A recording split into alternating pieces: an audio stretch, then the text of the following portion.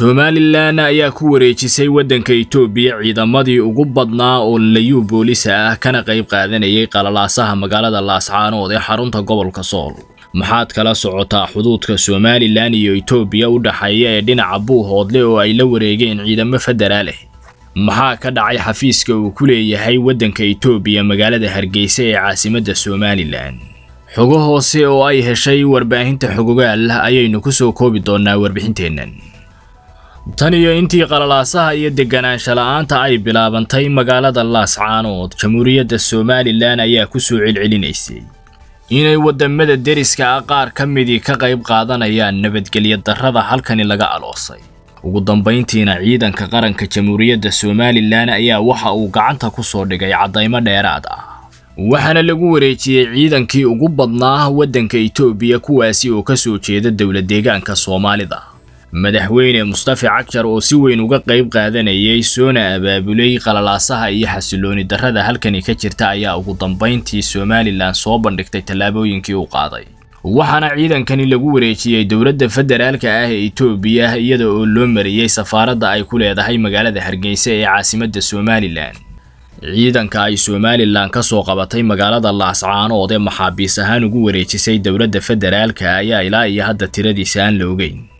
hase yeeshee dowladda itoobiya markii ay heshay xaqiiqooyin caddaynaya madaxweynaha dowla deegaanka soomaali galbeed ee itoobiya sida uu dabka ugu shidaayo qalalaasaha iyo xasilooni darrada ka taagan bariga somalilan ayaa guud ahaanba waxa ay la wareegtay xuduudaha ay somalilan la leedahay oo ay koow ka tahay dhinaca buuhoodle halkaana waxaa la keenay ciidamo dowladda dhexe ka socda kuwaasi oo la socon doona dhaqdhaqaaqa ah iyo sida oo kale tallaabooyinka ay qaadayso dowla deegaanka soomaalida ee itoobiya. Waxaana ay ku biiraysaa tani tallaabooyinka horumar kale ee ay somalilan ka samaynayso salka u dhigitaanka ah nabadgelyada iyo xasiloonida gobolka sool. Halkani oo ay gacmo badani ku hirdamayaan ayaa muddooyinkii ugu dambeysay jamhuuriyadda somalilan ay ku howlanayd waxaana dowladda itoobiya ay garwaaqsatay dhacdadaasi caddaynteeda la soo hordhigay ee ay ciidanka qaranka jamhuuriyadda somalilan gacanta ku soo dhigeen. Ilowareedyo goobjoogayaal ahi sida ay noo xaqiijiyeen saraakiil sarsare oo ka tirsan dowladda federaalka ah ee itoobiya ayaa la wareegay ciidankaasi. Waxaana ay sheegeen dhacdadaasi inay raalligelin heer qaran ah oo madaxda sare ay ka hadli doonto ay ka bixin doonaan.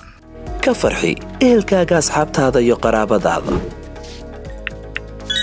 oo la soo deg abka dahabshiil si aad si fudud lacag ugu dirto. Marka aad la soo degto ablicathonka dahabshiil ee aad lacag ka dirayso isticmaal koorka khadmad la'aanta ee tree free oo kuu sahlaya in saddexda jeer ee ugu horreeya ee aad lacag dirayso aan wax khadmad ah lagaa qaadin. Dahabshiil howlfudaydiyahaaga maaliyadeed